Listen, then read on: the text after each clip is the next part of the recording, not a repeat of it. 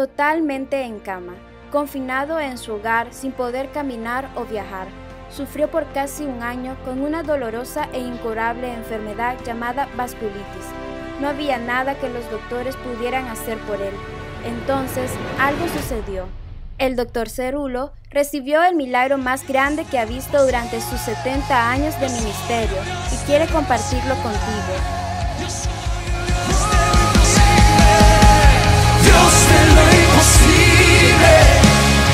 Acompáñanos este 24 de julio en el Centro de Convenciones Olof Palme a las 5 de la tarde. El momento de tu milagro ha llegado.